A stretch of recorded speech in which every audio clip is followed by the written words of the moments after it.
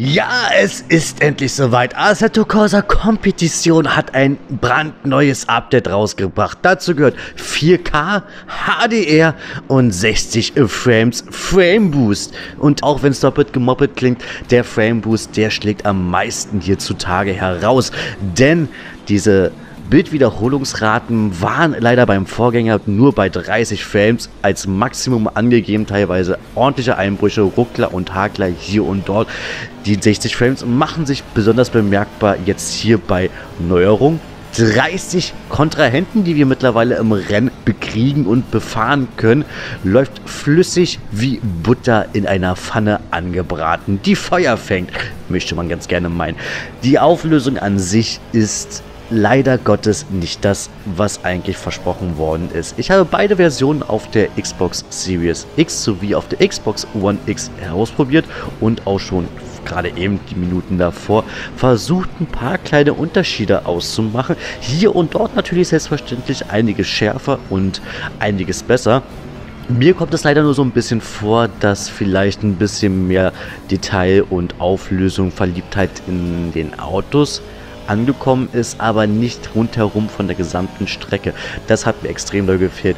Der Regeneffekt an und für sich war schon vorher ausreichend gewesen bis dato aber nicht gut und kommt auch mit dem neuen Update bei weitem nicht daran, wo zum Beispiel ein F1 2021 von Codemasters, gar natürlich jetzt mittlerweile von EA Sports sind oder andere Rennspiele. Das äh, lässt wirklich so wünschen übrig, sei es zum Beispiel die eigentlichen Regentropfeffekte aus dem, auf dem Asphalt, die gar nicht existieren, die doch sehr kläglich punktuellen nassen Stellen auf der Scheibe. Da ist meistens dann immer nur so ein Klecks drauf. Oder gar die nicht vorhandene Gischt, die eigentlich durch die Regenreifen nach oben katapultiert wird. Was mir halt persönlich nur aufgefallen ist, gerade beim Regen in der Third Person, ist, dass es ordentliche Frame-Wellen gibt, möchte ich mal ganz gerne meinen. Gerade hinten von der Karosserie, wenn ihr Third Person im Regen fahrt, der merkt es. Es sieht am Anfang erst aus wie eine Gischt oder so. Oder als würdest du, als würde man feuchte Regenschwellen von sich hertreiben. Das sind aber aber meistens wahrscheinlich eher so kleinere Frame-Einbrüche ringsherum um das Auto. Gefällt mir persönlich nicht. Im Großen und Ganzen was äh, Kuno Simulation die Entwickler von Assetto Corsa und Assetto Corsa Kompetition hier mit dem neuen Update herausgebracht haben, ähnelt so ein bisschen den vom Sommer 2020, als das Spiel released worden ist. Leider wiederholen sie genau die Fehler, die sie damals vor gut fast anderthalb, zwei Jahren gemacht haben jetzt auch mit dem Update. Das Update wurde angeblich zwei Tage früher veröffentlicht, wahrscheinlich wegen dem 22.02.2022. Jetzt haben alle geheiratet und Kinder bekommen im Endeffekt.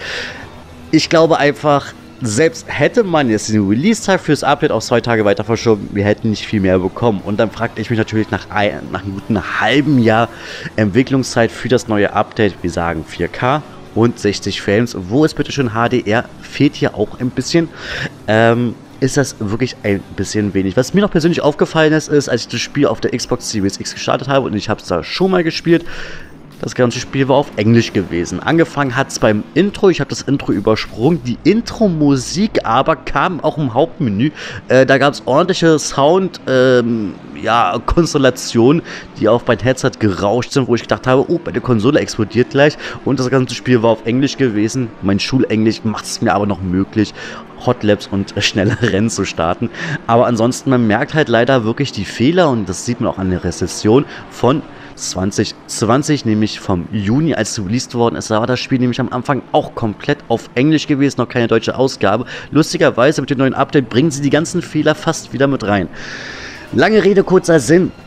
Forza Competition war für mich von Anfang an eigentlich ein Garant dafür, wirklich mal eine schöne Simulation allein schon auf den Konsolen zu bekommen. Hat man immer noch, jetzt auch mit dem neuen Update natürlich, was sehr Flüssiges. Ich bin ziemlich erstaunt darüber, dass es mit dem Framerate so wunderbar funktioniert. Wie gesagt, mittlerweile, wir können 30 Kontrahenten einstellen. Super, riesen Pluspunkt. Heißt, wir sind in 31 Fahrzeuge und es läuft mega flüssig.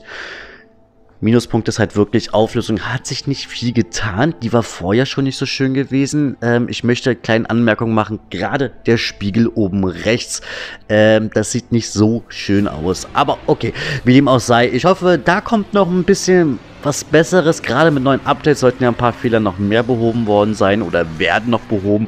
Ansonsten würde ich einfach mal sagen, alte Fehler gleiche Wege aber vielleicht auch neue Resümee. Ich bin auf alle Fälle trotzdem zufrieden mit den Updates. Was mir persönlich manchmal auch so ein bisschen aufgefallen ist, ist, dass die Lichteffekte manchmal hier sehr merkwürdig hin und her wechseln. Von einem auf anderen Moment ist es trotzdem irgendwie doch wieder ein bisschen heller. Aber wie dem auch sei.